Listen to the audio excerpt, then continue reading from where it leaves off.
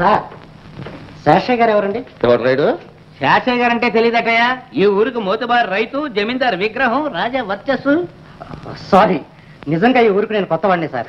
Good morning అది వరుస పొలం మీద అప్పైతే పందులతో మాట్లాడు. అమ్మేదట్టయితే నా దగ్గర నేను అందుకు రాలేదండి మీకు టెలిగ్రామ్ వచ్చింది. ఇక్కడ ఇక్కడ సంతకం చేయండి సార్. నీకేమైనా గుర్తుందా?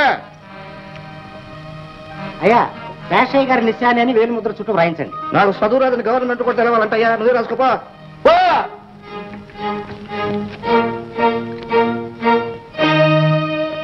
పంతులు చదివాడు. Examinations over coming tomorrow ten cart station Raju.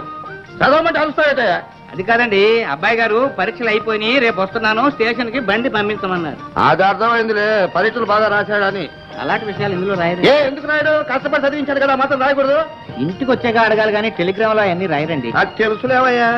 నాలుగు ఇంగ్లీష్ ముక్కలు నేర్చుకున్నాను కదా అని ఎగిరి పడమాక. వస్తున్నాళ్ళే మా వాడు. ఇంగ్లీష్ గడగడ మాట్లాడి నీ నోరే కాదు ఊళ్ళో వాళ్ళు నోళ్ళని ముంచేస్తాడు మా వాళ్ళు అదే ఎంఏ చదువుకున్నాడు. ఎవడు కడి ఊళ్ళో? ఈ రోజుల్లో ఆడవాళ్ళు కూడా చదువుతున్నారండి ఎంఏ బిఏ. ఏమలా ఏమి లేదండి ఉన్నవాళ్ళు చదివించుకోవడంలో విశేషం ఉంది మీ చెల్లెలు గారి దత్తుడు రావణ కూడా తన చెల్లెల్ని కష్టపడి గొప్పగా చదివించుకున్నాడు కదా. ఆ ఊసుగా నా కుటుంబం ఊసుగా నా దగ్గర ఎత్తావంటే నీ బుర్ర చెత్త కొట్టి ఊరగాయ పట్టిస్తా. దత్తుడట, దత్తు